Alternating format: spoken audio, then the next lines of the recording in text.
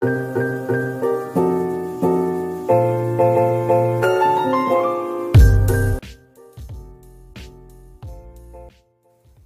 Poulain, je suis adjointe administrative euh, à l'EHPAD des Chevriers à Maillé dans la Sarthe. Delphine Hérault, je suis cadre de santé à l'EHPAD de Maillé.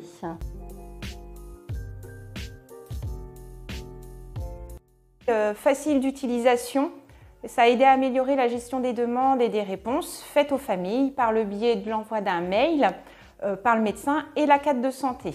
C'est un outil d'aide à l'orientation pour le module grand âge, les personnes ou accompagnants souhaitant trouver une place d'hébergement ou d'accueil de jour ont un espace dédié et peuvent transmettre directement leur dossier aux établissements correspondant à leur recherche.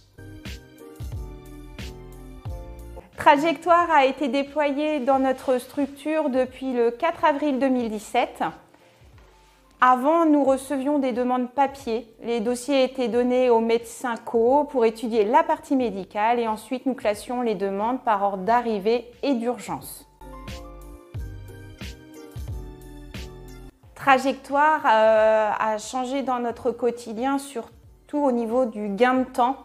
Euh, facilité à retrouver un dossier euh, avec nom et prénom. L'outil étant dématérialisé, cela n'empêche pas le contact entre l'EHPAD et les futurs résidents qui peuvent continuer à appeler pour prendre des renseignements et bien sûr euh, prendre des rendez-vous pour les visites. Donc, Via Trajectoire euh, nous facilite en fait la gestion euh, des dossiers parce qu'auparavant ils étaient papier. Donc nous avions deux gros classeurs, hein, le suivi c'était beaucoup plus compliqué.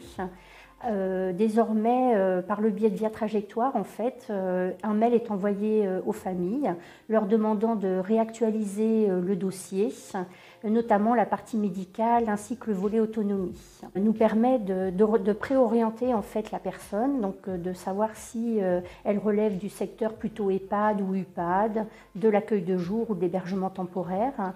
L'avantage pour les familles également, c'est qu'en réalisant un dossier, euh, plusieurs demandes peuvent être faites dans les établissements que souhaitent euh, les personnes. Puis, euh, lors de la commission d'admission, en fait, l'avantage aussi, c'est que nous pouvons exporter les dossiers dans un fichier Excel en tenant compte de la chronologie des demandes. Il y a plusieurs filtres qui sont possibles. Et enfin, ce qui est vraiment intéressant pour nous, c'est la fiche de suivi où en fait on peut noter des commentaires et ça, ça nous est utile en fait dans la préparation de la commission d'admission puisque ça la permet de mettre en avant euh, l'urgence euh, s'il y a au domicile.